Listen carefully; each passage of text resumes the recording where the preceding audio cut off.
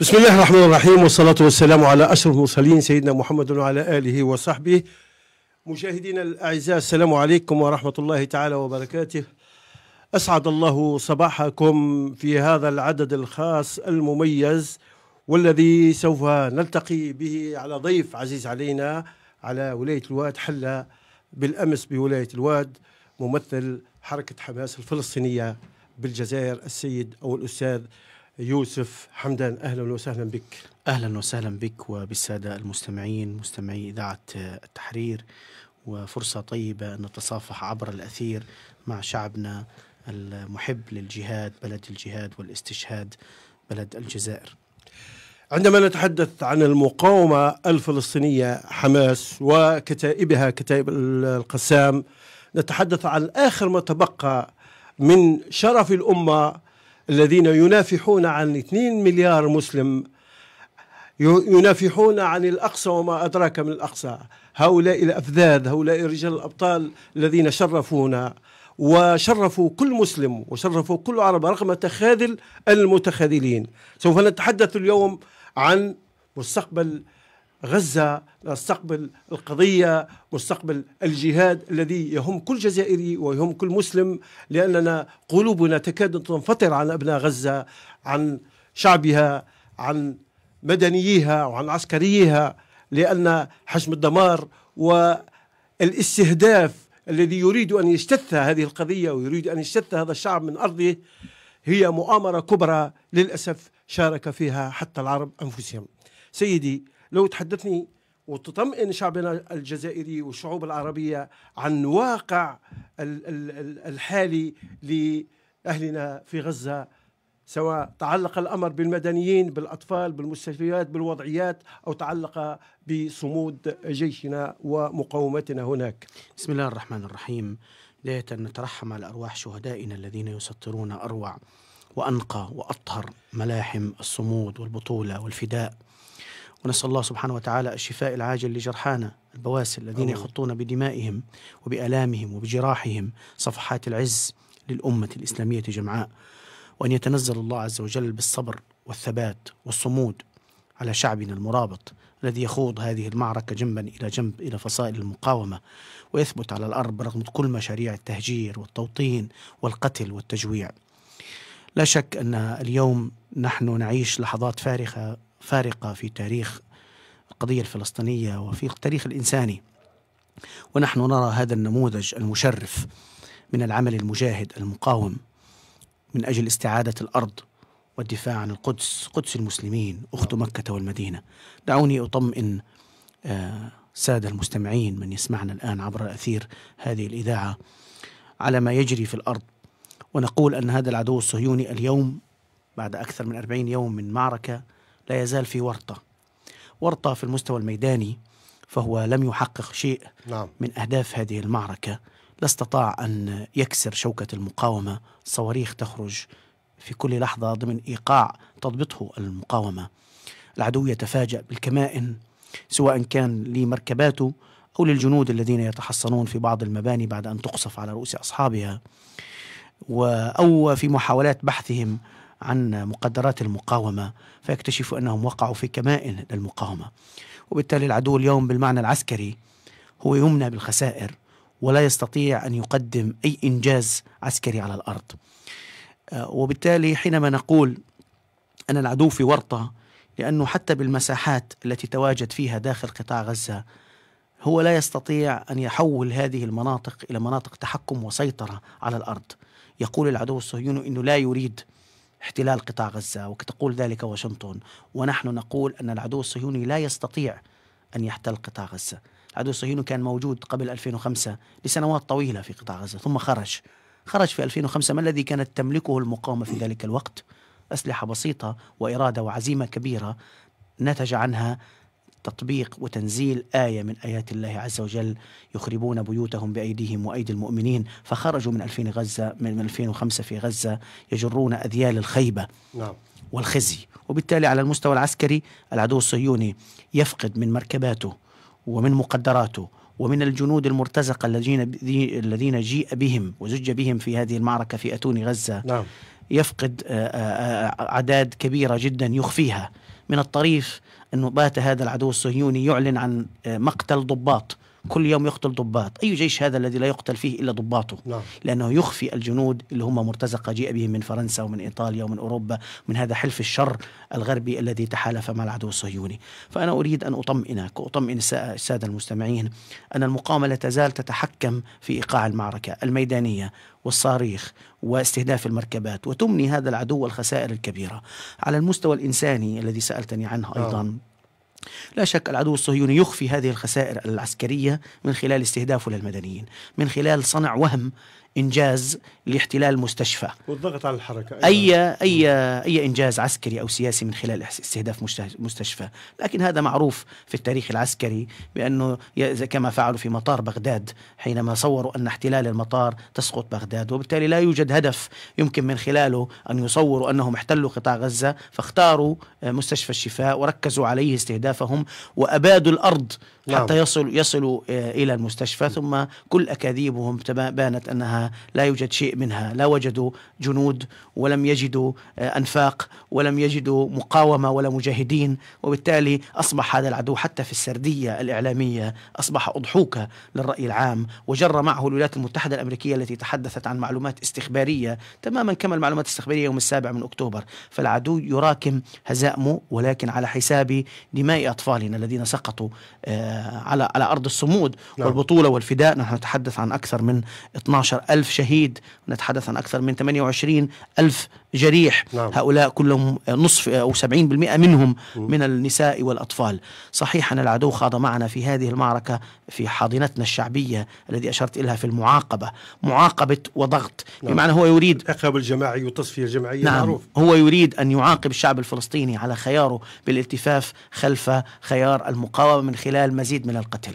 المعركة الأولى هي معركة استهداف الناس وقتلهم بشكل مباشر في مراكز اللجوء وفي بيوتهم وسيرة الإسعاف حتى يفصل عن حتى. حتى ينزع نعم. ينزع هذه الحاضنة الشعبية عن محيطها م. ثم لما يفشل هذا الموضوع وفشل موضوع الترحيل أو الإزاحة أو النزوح أو التهجير أو التوطين ذهب إلى التجويع يريد أن يكسر إرادة شعبنا بالتجويع فيمنع الماء ويمنع الغذاء ويمنع الكهرباء ويمنع الدواء ويهجرهم من منطقة إلى منطقة يقتلهم في الطريق ويقتلهم في وبالتالي شعبنا الفلسطيني واعي لهذه المؤامرة ولن يستطيع أن يرفع نحن شعب أخي العزيز غير قابل للاستعمار غير قابل للاحتلال. شعب الجبارين. لا يمكن أن نقبل نعم. بهذا الاحتلال واقعا علينا أو نتعاطى معه أو نطبع معه أو نتعاطى معه أنه شيء موجود. لا يمكن تغييره سنقاتله ولو بأظافرنا جميل جدا. أهم المكاسب أو المكاسب التي حققت من خلال هذه المعركة بدءا من يوم 7 أكتوبر والهجوم هجوم طوفان الأقصى. لابد أن هناك مكاسب على نعم. مستوى الخريطة المحلية والإقليمية نعم.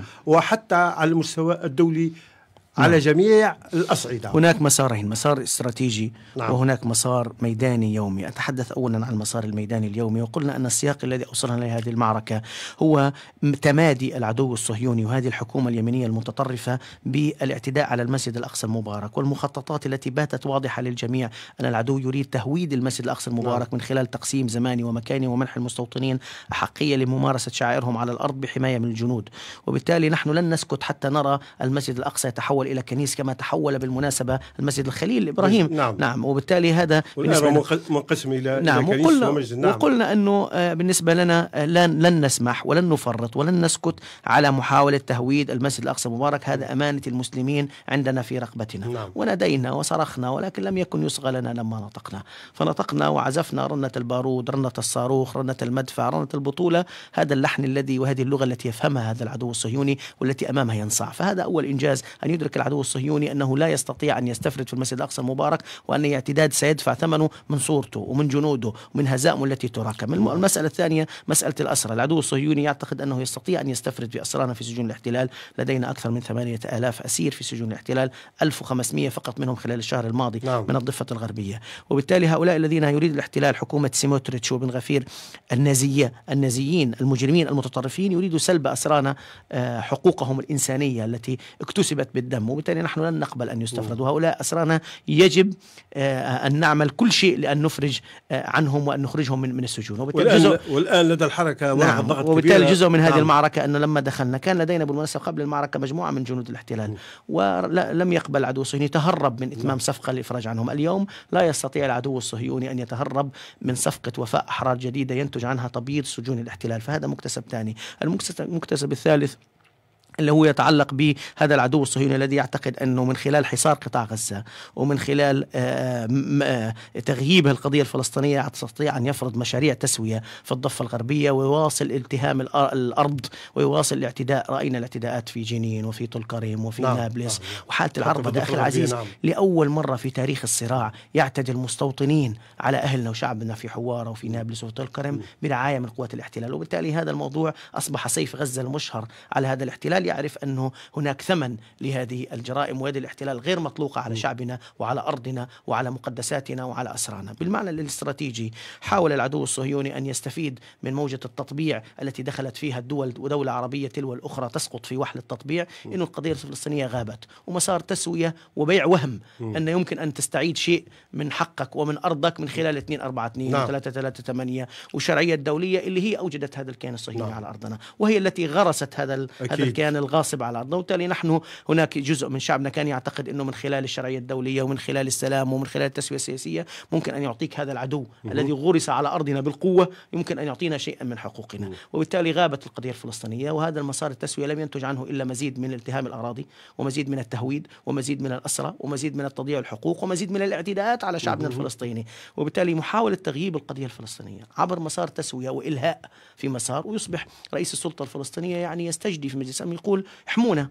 ويقول اعطونا قرار واحد من القرارات المئات التي التي صدرت نعم. طبقوا قرار واحد على على سبيل الإحراج. نعم. وبالتالي هذه الحالة التي مرت بها القضية الفلسطينية من الاستسلام والعجز والفشل لا إحنا عدنا القضية إلى الطاوله مرة أخرى. لن تغيب القضية الفلسطينية لا بمسارها السياسي ولا بمسار التطبيع. وهذه القضية الفلسطينية إن لم نستعيد حقوقنا سنستعيدها بالدم نعم. ونستعيدها بالقوة وهذا العدو لا مقام له على أرضنا وبالتالي بالمعنى الاستراتيجي ما المكتسبات هذا مكتسب مهم أن العالم كل العالم مشغول الآن لإيجاد حل للقضية الفلسطينية إيجاد حل لهذا الكيان الغاصب م. الذي زرع على أرضنا والشعب الفلسطيني رافضه نعم. ولن يقبله م. ولن يقبل بأي حل على حساب حقوقنا آه وحساب مقدساتنا وعلى حساب لاجئينا وعلى حساب أرضنا كل فلسطين من النهر إلى البحر العدو الإسرائيلي أو العدو الكيان الصهيوني ليس إسرائيل فقط أو ما يسمى بدولة إسرائيل بل الغرب بصفة عامة. الصهيونية مجدرة في كل المؤسسات العالمية اليوم.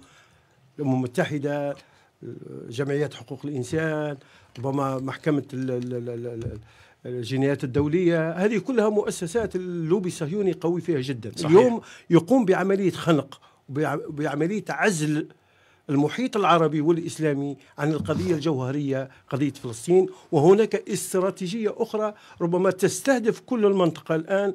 نحن نعرف اليوم في صراع دولي نظام دولي جديد. هناك أقطاب جديدة اليوم خسر في أوكرانيا اليوم يريد أن يستفحل وأن يظهر على أنه بطل في قتله الأبرياء وقتله الأطفال. ما هي قراءتكم الإستراتيجية لمنطقة الشرق الأوسط والتي أنتم الآن في الخندق تدافعون عن هذا المخطط الذي يستهدف المنطقة بكلها. نعم. نحن نعتقد أن التعويل على هذا المنتظم الدولي الحالي بشكله الحالي لينصفك هو احتكام للجلاد. أكيد. لأن هذا المنتظم الدولي هو الذي أوجد هذا العدو الصهيوني على أرضنا وهو الذي الآن يخوض هذه المعركة. شوف آه، آه، بلينكن لما جاء إلى إسرائيل هذا الكيان الغاصب. ما الذي قال؟ قال جئتكم كيهودي. كيهودي نعم وبالتالي هذا يفصح عن طبيعة الصراع اللي أحيانا جزء من أمتنا العربية والإسلامية لا يحب ان أن يعطي لهذا الصراع صفة أنه صراع ديني، نحن ليس لدينا مشكلة مع اليهود كأصحاب دين، وإن كان هم يعبروا أنهم لديهم مشكلة مع كل من هو ليس يهودي فيما نعم. يعرف بعقيدة نعم. الإغيار، نعم. وقالها جالنت حينما قال هؤلاء ليسوا بشر، نعم. وبالتالي هذه العقيدة اليهودية التي من خلالها تنطلق هذه الجرائم ومنها تنطلق هذه بل النازية بل قل هوليكوست نعم هذه هذه النازية وهذه نعم الجرائم التي ترتكب بحق شعبنا الفلسطيني هي تعكس حقيقة الصراع أن نعم. هذا العدو الصهيوني زرع لهدفين في المنطقة الهدف الأول التخلص من اليهود حول العالم فيرموهم في هذه المنطقة. ثم الهدف الثاني أن يكون لهذا الكيان دور في تفتيت المنطقة وتشتيتها وإشغالها وجعلها عاجزة عن اتخاذ قرارها وبالتالي عاجزة عن التنمية وعاجزة عن الاقتصاد وعاجزة عن تلبية حقوق آه، مواطنيها. وبالتالي إرباكها لأن هي تسعى إلى الأمن وتسعى إلى الاستقرار وتسعى إلى السلام في المنطقة. ومن أجل الأمن والاستقرار والسلام في المنطقة زرع هذا البعبع الذي اللي هو الكيان الصهيوني الهش اللي هو أوهن من بيت العنكبوت اللي هو في داخله مقومات هزيمته وأعطي كل هذه السلاح وهذه القوة. المشكلة هذا الكيان لا يقوى أن يبقى على أرض شعبها يرفض هذا الأرض. حتى وإن كانت المنطقة تطبع معه وتتعامل معه على أنه أمر واقع وترفض وترفض أن تدخل معه في معارك وفيها وفي هزائم إحنا شعب غير قابل للاحتلال ونرفض كل هذه المشاريع. من الذي يدعمه بدرجة أولى؟ الولايات المتحدة الأمريكية. هل استطاعت الولايات المتحدة الأمريكية أن أن تزرع نفسها هي في أفغانستان؟ خرجت مهزومة. هل استطاعت أن تزرع نفسها هي الصومال، في في في. في, نعم. في فيتنام؟ وبالتالي هذا هذا الحليف أو الداعم أو العمق الاستراتيجي للكيان الصهيوني هو فاشل في في سياساته في المنطقة والمنطقة آه، والعالم الآن يعاد تشكيل أو أقطاب القوى فيه آه، من جديد وتتغير هذه التحالفات. لكن في النهاية أنا لن أنتظر كشعب فلسطيني وكحركة مقاومة إسلامية وككتائب مظفرة وكمشروع مقاومة يقف معه كل فصائل المقاومة بالمناسبة الذي يقود المعركة هي حركة حماس وكتائبها صحيح. المظفرة ولكن معها أكثر من 14 فصيل مقاوم في قطاع غزة. لا يستثني جهاد لا يستثنى سرايا القدس كثير من نعم. لا لا يستثنى من هذه المعركة إلا من يستثني نفسه عن مشروع المقاومة. أما معروف. كل الشعب الفلسطيني الم- الملتف خلف خيار المقاومة يجاهد في هذه المعركة تحت قيادة كتائب القسام وقيادة حركة المقاومة الإسلامية حماس في مشروع التحرير. وبالتالي بالنسبة لنا البوصلة واضحة. أنا ليس مطلوب مني أن أغير العالم لكي أحرر فلسطين ولا أن أركض خلف العالم آه، لكي يعطيني يعطيني حقا. نحن مشروع المقاومة الشامل الذي سألتني عنه.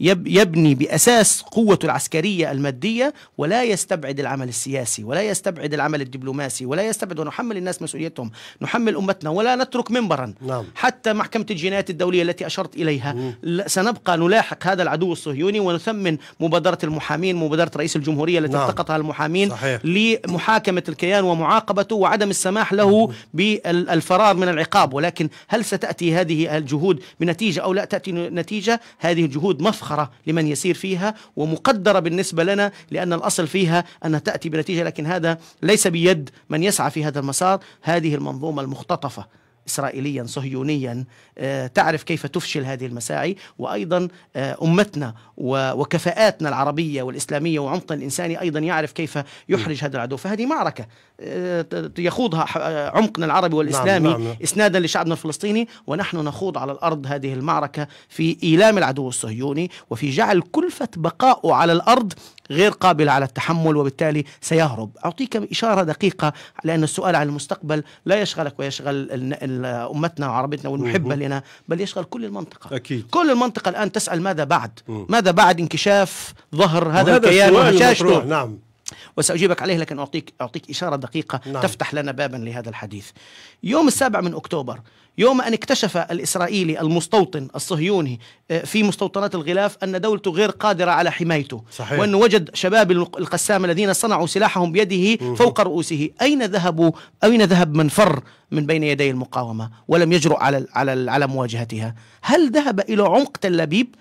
إلى عمق الكيان ذهب إلى مطار بن جريون لأنه من يعرف حيث من حيث أتى. من حيث أتى عاد نعم. من حيث أتى لأنه يعرف أن هذه الأرض ليست أرضه وأنه إذا لم يوفر له الأمن فلن يبقى على الأرض إن لم يوفر له الاقتصاد فلن يبقى في هذه الأرض. هذه المعادلة اللي إحنا بنعرفها من هذا العدو الصهيوني إنه لا يقاتلونكم جميعا إلا في قرى محصنة وأحرص الناس على حياة وتحسبهم جميعا وقلوبهم شتى. هذه عقيدة قتالية ليست نعم. عقيدة إيمانية نعم، فقط نحن نعرف البوصلة. نعرف كيف نؤلم العدو ونجعل كلفة بقائه على الأرض يستطيع تحملها سيخرج والعالم سيبحث الذي جاء بإسرائيل. وزرع هنا سيبحث عن مكان ويعيدهم حيث. جميل جميل جدا. آه، آه، حديثك يفرح ويثلج ال- القلب لأنه حقيقة هذه التجربة الفلسطينية الحماسية التي فهمت أن العدو لا يفهم إلا بلغة القوة. ما أخذ بالقوة لا يسترد إلا بالقوة. وهذا الم... هذا المعنى المستلهم نعم. من الثورة الجزائرية المجيدة ثورة نوفمبر التي جميل جدا. أيامها. هذه اليوم. هناك اتفاقيات أوسلو مش عارف مدريد. هذه الاتفاقيات التي كبلت كثير من الحكام العرب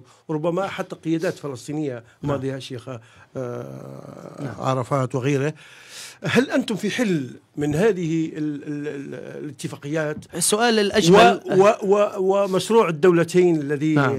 نسمع كثير من الخطابات الآن على مستوى العالم العربي السؤال كذا. أخي العزيز هل الاحتلال يعترف بهذه المشاريع وهذه المبادرات؟ هو لا- نعم الاحتلال لا يعترف بها السلم لا يأتي إلا بالقوة ما الاحتلال هذه المبادرات التي قدم العرض مبادرة السلام العربية نعم. إنه العالم العربي سيطبع مع هذا العدو وسيقيم علاقات طبيعية مع الكيان إذا الكيان اعترف بحقوق الشعب الفلسطيني هل اعترف؟ حتى هذه المبادرة التي لم نقبلها نحن كحماس ونعتبرها اعتراف للعدو على أرضنا العدو لا يعترف بها حل الدولتين هل يقبل فيه ربما الاحتلال؟ مبرر لا يقبل الاحتلال نعم. وبالتالي العرب الآن يتمسكون بحلول العدو الصهيوني لا يقبل بها صحيح. ويحاولون أن يبذلوا مجهودا كبيرا لإجبار العدو على القبول بهذا والعدو يتجاوزها نعم. وينشئ علاقات مباشرة عبر مشروع التطبيع مع دول موجودة ضمن جامعة الدول العربية نعم. وموجودة في القمة صحيح. اللي اللي صدر عنها تلك القرارات يعني هم أعجز أن يجبروا دولهم دول الجامعة الدول العربية إنه يتوقفوا عن التطبيع ويقطعوا العلاقات مع إسرائيل، بدهم يجبروا إسرائيل على القبول بمواد السلام العربية، يجبر أمريكا اليوم الذي يخوض هذه المعركة بل حركة اليوم حتى أقاطعك رأينا اليوم إسرائيل تجبر هذه الدول أن تدخل في المعركة وتطلب منهم بجيوشها وتطلب منهم نعم. أن يسكتوا نعم. أن ينددوا بحماس أن صحيح. يدعموهم صحيح. وبالتالي للأسف هذا المنتظم العربي اليوم لم يلتقط اللحظة نعم. صحيح هناك استثناء جزائري وهناك استثناءات من بعض الدول التي تقدم مواقف متقدمة وبعض المساعدات وبعض الأشياء اللي- تعبر فيها عن نبض الشارع وهذا الانسجام الجزائري بين الموقع بين الشارع وبين الجيش وبين الدولة الرسمي، نعم. نعم بالموقف لكن هذا الاستثناء في النهايه في بحر لجي متلاطم من أمواج آه، كلها إن لم تكن صامتة أو عاجزة فهي متواطئة ضد آه، الشعب الفلسطيني وضد المقاومة الفلسطينية وحاولوا ألا يعطوا فرصة لنجاح هذا النموذج نموذج نعم، الكف نعم. في مواجهة المخرج إذا نجحت المقاومة.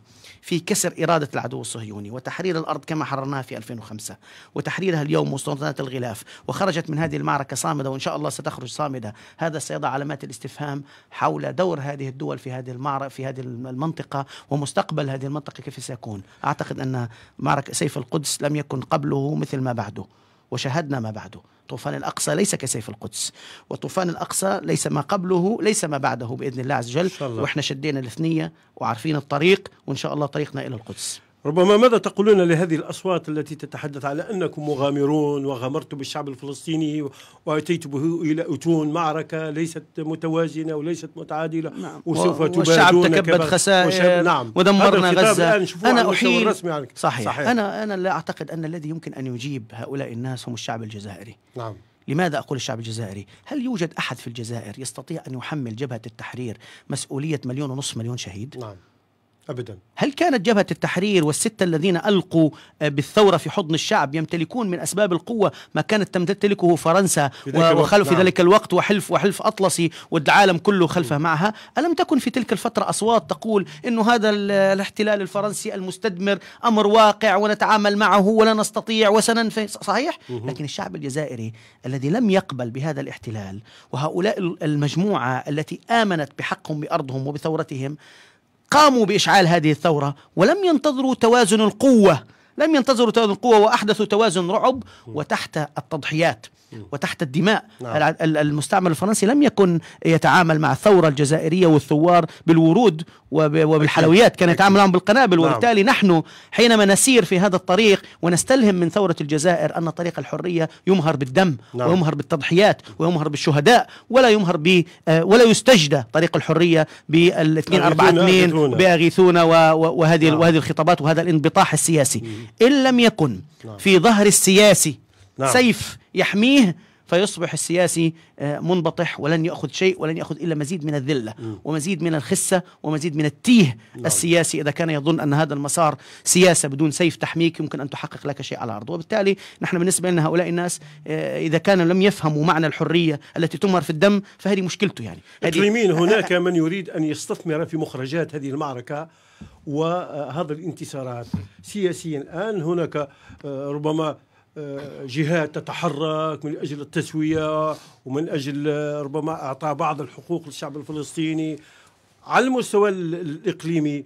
و- وحماس اليوم ما دوركم أنتم اليوم في قضية ال- العلاقات الفلسطينية الفلسطينية. الذين قال لهم الناس إن الناس قد جمعوا لكم فاخشوهم ويتكلم ويطلع يقول لك مستقبل غزة بعد حماس والمعركة ما زالت قائمة. نعم. هو شعر بهذه الورطة التي أشرت إليها في بداية الحصة حينما قلت أن العدو في ورطة في قطاع نعم، غزة. ويريد أن يخرج آه، بنيامين نتنياهو من ورطته. نعم. فيتحدث طيب سأخرج سأنهي ولكن كيف؟ فهو يبحث عن حلول. شعبنا الفلسطيني لن يقبل أن يأتيه من يحكم على ظهر دبابة مم. ولن يفرض عليه بعد أن قدم هذا المهر الغالي والثمين من دمائه ومن جرحاه ومن بنيته التحتية أن يقبل أن يفرض عليه مشاريع. إحنا في أقل من هذا لم نقبل مشروع تسوية سياسية ولم نقبل بالتطبيع ولم نقبل بصفقة القرن ولن نقبل بالتهجير والبطل الوطن البديل وبالتالي شعبنا الفلسطيني بعد أن رأى كل هذا الضعف والهشاشة من الكيان الصهيوني وكل هذه البطولة والثبات من المقاومة الفلسطينية سيقبل أن يفرض عليه حلا سياسيا بالنسبة لنا شعبنا يعرف كيف يختار قيادته وقيادته هي التي تحميه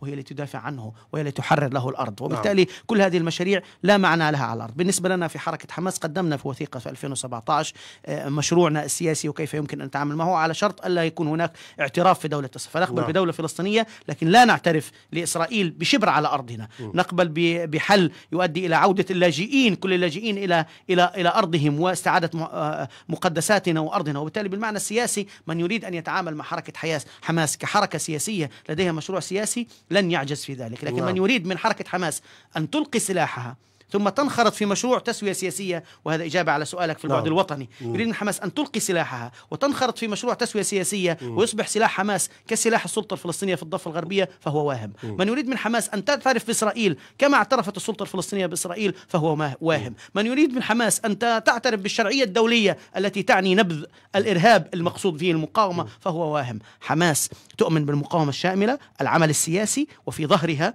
عمل عمل العسكري المقاوم الذي يؤلم العدو لأن هذا العدو لن يعطيك شيء بدون أن يكون هناك آه، قوة تحميك وأحيلك إلى كلمة أبو إياد المجاهد الفتحاوي القديم الأصيل.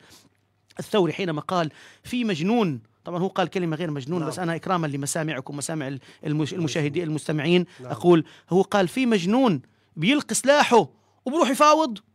للأسف هناك من فعل هذا.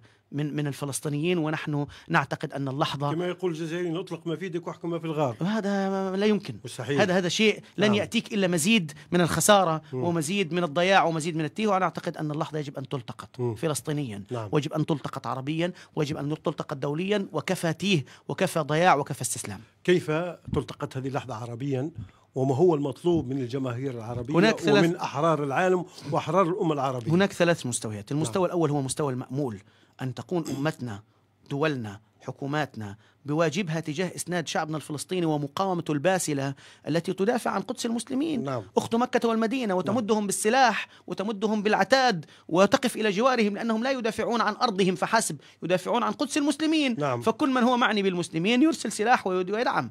ويدعم وهذا شيء لا نعم. غير هذا حركة تحرر وطني نعم. تماما كما حدث في الجزائر نعم. وكان العمق العربي والإسلامي والإنساني يدعم الثوار مم. بالسلاح نعم وبالتالي هذا هذا المأمول ولكن كما قال أبو عبيدة إحنا غسلنا أيدينا من من هذا لا سمح الله المحور الثاني أو المسار الثاني هو مسار أبو الواجب عبيدة قالوا جزائري أي نعم الناس قالوا جزائري أي هو نفس ونحن لنا نعم نفس العقيدة ونفس الجينات نعم. اللي هي جينات العند وجينات الثورة وجينات الثبات نعم. وجينات وبالتالي جينات عدم الانكسار وبالتالي التمسك بالحق نعم والتمسك بالحق نعم. نعم. نعم وبالتالي المسار الثاني هو مسار مسار الواجب الممكن الواجب الممكن اللي هو دور النساء في الحروب نعم. اللي هم يساعدوا في يدخلوا الوقود للدول اللي عندها وقود يدخلوا مساعدات طبية للدول اللي عندها تستطيع أن تعمل مستشفيات طبية صحيح. وترسل فرق ومعدات دفاع مدني فتدخل إلى قطاع غزة من ينتظر أنه يفتح المعبر حتى يرسل هو ينتظر مزيد من الدماء تقتل نعم. هناك أكثر من 1500 تحت الأنقاض مش عارفين هم مستشهدين ولا جرحى ولا مفقودين هؤلاء لا نمتلك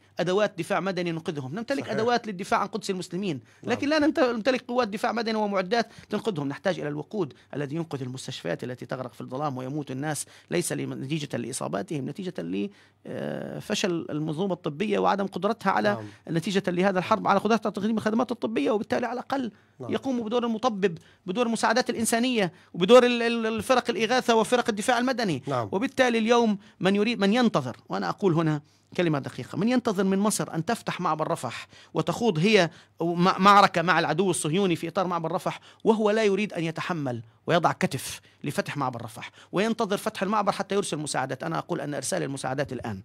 وارسال فرق الدفاع المدني والمستشفيات الميدانية هو جزء ليس فقط لإنقاذ الشعب الفلسطيني بل هو جزء لفتح معبر رفح ولتعجيل فتح معبر رفح وتأخيرها هو مزيد من الدماء وإعطاء نعم. فرصة فرصة لهذا العدو الصهيوني أن يستفرد في في شعبنا وأيضا يستفرد في مصر التي آه، تغلق المعبر معبر رفح ليس بإرادة ذاتية ولكن بفرض هيمنة إسرائيلية وبالتالي على منتظمنا العربي أن يقف من أجل آه، آه، فتح معبر رفح وإدخال المساعدات فهذا دوره بالأدوار الأخرى هذه دولنا العربية وعواصمنا العربية عندها علاقات مع هذا الحلف الغربي الذي يقتلنا نعم عندها علاقات وقود وعندها علاقات طاقة وعندها علاقات تجارية وعندها علاقات سياسية استراتيجية وبالتالي في لم تستخدم نعم. إن لم تستخدم دولنا العربية وعاصمنا العربية ورقة الاقتصاد ورقة التجارة ورقة العلاقات السياسية للضغط مم. على هذا هؤلاء الشركاء ليوقفوا هذا العدوان وهذا ما. طرحته الجزائر في القمة الأخيرة نعم. وللأسف نعم، ولذلك الدول يبدو- العربية أسقطت هذه نعم ولذلك. الجزائر لذلك يبدو صوت الجزائر دائما في المنطقة هو صوت متقدم نعم. لأنهم يعيشون في الماضي يعيشون عشرين سنة إلى الخلف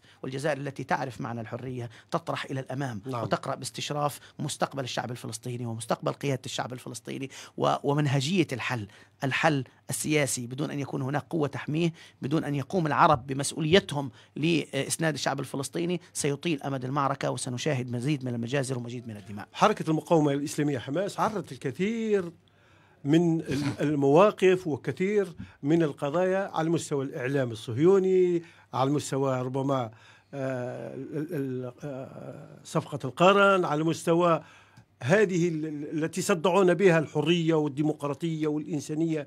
لطالما تغنى بها الغرب ولطالما احتلوا بلدان. احتلوا ليبيا قتلوا الشعب العراقي كثير باسم هذه اليوم عريتوها أنتم اليوم بينتم هاي حقيقة الغرب ها حقيقة من ينادون بالديمقراطية والحرية أنتم اليوم آه، تعطونا درسا كبيرا للشعوب العربية نعم. ودرس أكبر لل- للخونة والمطبعين خونة القضية والذين يريدون أن يسووا هذه القضية مع الكيان الصهيوني. بالنسبة لنا نعتقد أنه ليس من أدوارنا فقط أن نحرر أرضنا كذلك أن نرسل رسائل الأمل نعم. إلى أمتنا لأن تستعيد دورها في هذه المعركة. نعم. وبالتالي محاولة تغييب القضية الفلسطينية ومحاولة آه، إن- إنسائها وإخراجها من دائرة الاهتمام العربي أعتقد أن هذه المعركة أعادت القضية في قلوب كل الأمة.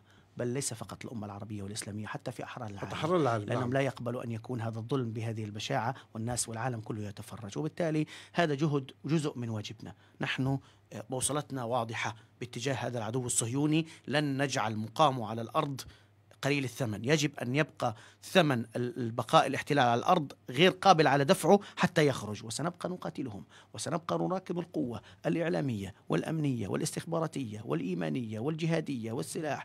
كل أسباب القوة التي آه، يعني آه، تقع بين أيدينا أو سنستجلبها من عمقنا ومن دعم العربي والإسلامي ودعم أمتنا لكي نقارع هذا العدو وندافع عن شرف الأمة عن قدس المسلمين جميعا وعلى العالم أن يلتقط اللحظة وأن يبحث ويخرج من مساحة التعاطف الوجداني اللي هو إيش التعاطف الوجداني؟ يا إما حزين على مشاهد الألم يا إما مفتخر في المقاومة. خلينا نخرج من هذه المساحة ونبحث عن مساحات الأدوار. نخرج من الانتباعات ومن نخرج من. العمل العاطفة عمل ميداني إلى عمل إلى دعم، عمل نعم. يدعم. من هنا ومن هنا أنا من خلال هذه الإذاعة وجه تحية لهذا الإعلام الجزائري بكل أطيافه وألوانه المسموع والمرئي والمقروء الذي يتعامل مع هذه المعركة أنه معركته. نعم. ويبحث عن دوره ويتجند بجندية يجعل القضية الفلسطينية أولى أولوياته ويشارك في معركة الدفاع عن السردية الفلسطينية في مواجهة السردية الصهيونية ومحاولات تضليل وتزييف الواقع الذي يجري على الأرض. هذا دور حقيقي. هذا ليس كلام. هذا دور حقيقي يساهم في تركيز القضية الفلسطينية في وجدان الناس وإرسال رسائل التضامن لشعبنا الفلسطيني وللعالم أنه لا يمكنكم عزل القضية الفلسطينية. لكن هذا الإعلامي طب ماذا عن رجل المال والأعمال؟ ماذا عن عن عن مختص في الكيمياء والفيزياء؟ ماذا عن الشباب اللي عندهم في قدرة في الأمن السيبراني والأمن التقني؟ ماذا عن الشاعر؟ ماذا عن الفنان؟ لأن ماذا عن عدة- عدة لأنه صعيد هذه صعيد. مفتوحة وقد علم كل صحيح. كل أناس مشربهم وكل ميسر لما خلق له. المهم يخرج من مساحة العاطفة ويحول هذه العاطفة إلى طاقة عملية فعلية يشترك فيها في معركة التحرير. واضحة. اليوم أنت آه، في الوادي آه، ما هي رسالتك للشعب الجزائري؟ وأنت الآن ما شاء الله أعتقد أنك تجوب كل الخريطة الجزائرية شوف إحنا في في الجزائر ما عندناش حكي كتير مع الجزائريين. نعم. لأنه فاهميننا وعايشين بل بالعكس قاعدين بيشوفوا النموذج اللي عاشوه في الثورة. نعم. كأن خط الزمن يعطيهم فرصة لأن يروا ما الذي جرى فيهم جرائم وما الذي جرى بطولة وما الذي جرى ص- ص- صمود وثبات الشعب الفلسطيني على الأرض. وبالتالي الشعب الجزائري يعرف أدواره. نعم. ونحن اليوم نحملهم مسؤولية أنه هذه المعركة معركتكم ونحن ندافع عن أخت مكة والمدينة. وبالتالي لا يبخلنا أحد أن أن يكون له دور في هذه المعركة. اللي يرى دوره آه، أن يساهم بالمال فالمال يعرف طريقه للعروق ولا يتأخر لأنه يكتب لنفسه في صفحات العز يكتب لنفسه جهادا في سبيل الله وقيام بواجب عربي ووطني وعروبي وإسلامي وإنساني وكل واللي يستطيع أن يخدم بما يستطيع وبالتالي فقط اليوم نحن نثمن ونشكر إخواننا الجزائريين على وقوفهم وعلى مشاعرهم وعلى تواترهم مع هذه مع هذه المعركة الموجودة والتفافهم خلفها. نطمئنهم على المقاومة نطمئنهم على صمود شعبنا الفلسطيني. نشكر كل ما يفعلونه من أجل دعم دعم صمود شعبنا الفلسطيني ونطالب بالمزيد لأن هذه المعركة هي معركة الأمة وليست لا شكر على واجب. هذا واجبنا. وكما ذكرت نحن في صميم المعركة ومع شعبنا الفلسطيني الأبي المجاهد. أشكرك جزيل الشكر. أعتقد الحديث معك ذو شجون والحديث عن المقاومة والحديث عن الشعب الفلسطيني حقيقة آه، نحس بإعادة آه، روح الجهاد والتي عاشته الثورة الجزائرية وعاشه الشعب الجزائري لأن ذاكرتنا ما زالت قوية بماضي فرنسا وبادئ الاستعمار نعم صحيح ومن هنا نستمد هذه المواقف نعم. نعم. التي تدعمكم للحق وللدفاع عن الأقصى أشكرك جزيل الشكر كما أشكر على الذين كل تابعونا للأسف كان بإمكاننا يكون معنا الوقت أطول لنتحدث عن كثير المواقف وكثير القضايا آه، في قراءتنا لمستقبل هذا الصراع. القضية ال- قضيتكم وتواصل نعم إن شاء الله جميل شاء بإذن الله لأنك ربما ستسافر بعد نعم بعد نعم سويعات. نعم. آه، أجدد شكري لك ولشعبنا الفلسطيني الباسل والذين يتخندقون الآن دفاعا عن الأمة ككل ودفاعا عن الأقصى إن الله معهم.